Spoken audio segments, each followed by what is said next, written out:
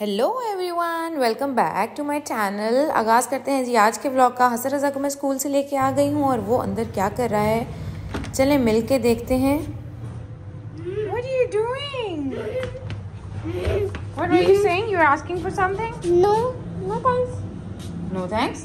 No thanks. I know that you were asking for for the tab. Yes. Okay. Where is that? So that you can take it. See, you did it by yourself. It was so easy. Where did you got this balloon? In my class.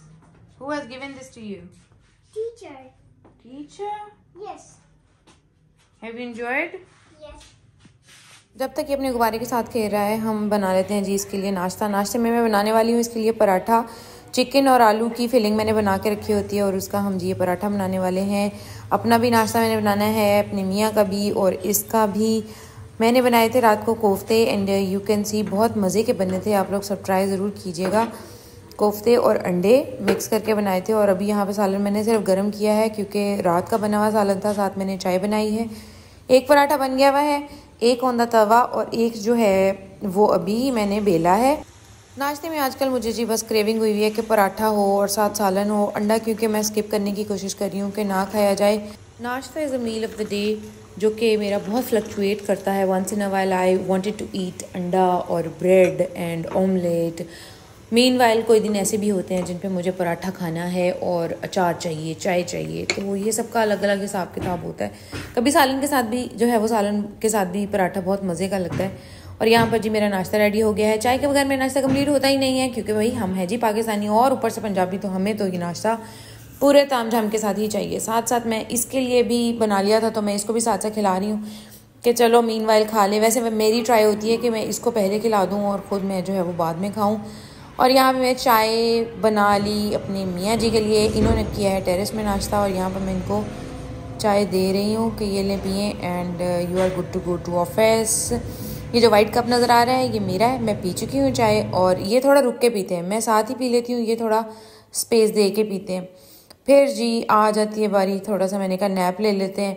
वो चले गए थे office ये अपने tab में busy है, मैंने थोड़ी सी रेस्ट की है। सोया तो नहीं गया नैप तो नहीं कह सकते, बस ऐसे ही लेटी हूँ और थोड़ी देर से बातें की, खेला थोड़ा सा।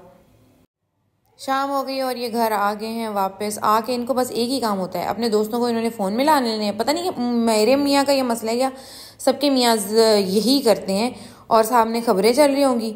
और दैट्स इट आके बस लेट जाओ।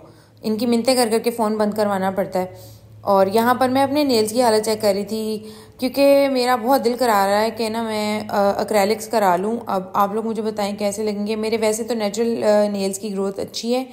लेकिन एक्रेलिक्स की तो फिर और ही बात है ना। तो आप लोग मुझे सजेस्ट कीजिएगा, अगर लाहौर में रहने वाले कोई आप लोगों को आइडिया है कि कहाँ से अच्छे एक्रेलिक्स रीज़नेबल प्राइस में हो जाते हैं तो मैं ज़रूर डेफिनेटली वो चीज़ ट्राई करने वाली हूँ। उसके बाद जी खाने का टाइम हो गया और हम लोग रात को चले गए हैं बाहर। हम लोग गए थे यासिर ब्रोस्ट यहाँ पर हमने, ज़ाहिर यासिर ब्रोस्ट आए तो ब्रोस्ट ऑर्डर करेंगे इनका। सूप लिया हमने और फिर वापसी पे हमने जलाल सन से कुछ मीठा ऑर्डर किया, वो लेके हम लोग घर आ गए हैं और खाना वह सो यम बहुत मज़े का था। आपके ऑरेंजेस ठीक है? ऑरेंजेस ठीक है आपके? Okay I am coming he is sitting in the bathroom and calling मामी ओके फाइन हैं आपके ऑरेंजेस ठीक है? सारे ठीक है। सही बताए ना। सड़े हुए कितने निकले बताए। अभी ये जो खा रहे हैं ये किसका है? हुँ? ये किसका है जो खा रहे हैं? हाँ? किसने इमदाद की आपकी? जब मैं लेती हूँ तो इनको गालियाँ पड़ती हैं इन माल्टों को। और अब ये मेरा है। मैंने उनमें तुम्हारे वाले में एक सही वाला डलवाया था। ओ वो यही था है ना? मेरे ये हैं। देखे कितने प्रिटी हैं। बेशक साइज़ में छोटे हैं लेकिन खूबसूरत हैं खूबसूरत। अब आप एक ही खाएँगे? हम्म? एक से गुजारा हो जाएगा आपका? ये खा के फिर? भला क्या खासू? जवाब दे। इसके बाद आप क्या खाएँगे? मूंगफली। मूंगफली मूंगफली। मूंगफली? मूंगफली। बड़ी खालिश उर्दू है आपकी? हैं? किसको देख रहे हैं? हम्म? किसको सुन रहे हैं? किसी इलामा साहब को सुन रहे हैं? हम्म? अलामा मौलाना किबला मुफ्ती इलामा अलामा किबला मौलाना मुफ्ती mister Patlu mister from Sialkot के from Dubai. From Sialkot via Dubai. अच्छा। मैंने मेडिकल स्टोर से कुछ चीज़ें मंगवाई थी और वो जब मैंने पैकेट को खोला है तो मुझे नज़र आया है कि कुछ चीज़ें आगे पीछे हुई हैं। एक तो मैंने ये बेंजा साइड जो एक्नी के लिए बॉडी की एक्नी के लिए मुझे इशू आ रहा है। बैक एक्नी का तो मैंने उसके लिए ये सोप मंगाया, मैंने सुना है ये बहुत इफ़ेक्टिव है।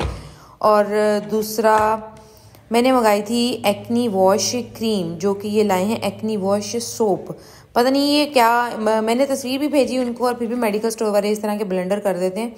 इन्होंने सोप दे दिया है। अब हमें इसको चेंज करवाना है। कल या परसों जब भी हमारा चक्कर लगा, हम इसको जाके चेंज करवा के आएँगे। सोप नहीं चाहिए सोप क्योंकि फिर मेरे पास दो हो जाएँगे, दो का फ़ायदा कोई नहीं है, इसलिए मैं एक ही रखने वाली हूँ। जो मैं आपको एक्नी का बता रही थी, ये है जी वो एक्नी जो मेरे फेस पे भी आ रही है, लेकिन ज़्यादा मसला मेरी बैक एक्नी का है, बाकी फेस पे इतना मसला नहीं है जस्ट एक ही पिंपल आया हुआ है। तो ये काम कर जाएगा होप सो अब मैं किचन में आ गई हूँ क्योंकि मुझे बनानी है मीठी टिकियाँ मीठे वो टिकड़े भी कहते हैं इनको, जो भी आप, इसको अपनी ज़ुबान में कहते हो। तो अब मैंने यहाँ पर जो है वो इसके इंग्रेडिएंट्स आ रहे जो ड्राई इंग्रेडिएंट्स हैं, कुछ को ग्राइंड करना होता है। बहुत लंबा चौड़ा काम होता है। मैंने ये सारे एक जगह कर लिए हैं। वयरिंग के लिए मैंने ये कप यूज़ किया था। मैं इसके लिए सेपरेट वीडियो जो है वो लगा दूँगी आपको। मिल जाएगी, जिससे आप इसको ईजीली रेसिपी को फॉलो करके बना सकते हैं। बहुत अच्छे बनते हैं। मैंने इनको सबको जुड़ा लिया है परात में, और यहाँ पर हमारे राइस पड़े हुए हैं जो हमने आज बनाए थे दोपहर में। और, ये मैं दिखा दूँ, ज़्यादातर हमने खा लिया। अब थोड़े से बचे पड़े हैं, इनको मैं बॉक्स में निकालने वाली हूँ, निकाल के जो है वो फ्रिज में रखती हूँ। राइस तो हमारे घर में कभी ख़त्म नहीं होंगे ना, क्योंकि मेरे मियाँ के फेवरेट जो डिश है ना, वो राइस है। हर वक्त कहते हैं, बस पुलाव बना दो, पुलाव बना दो।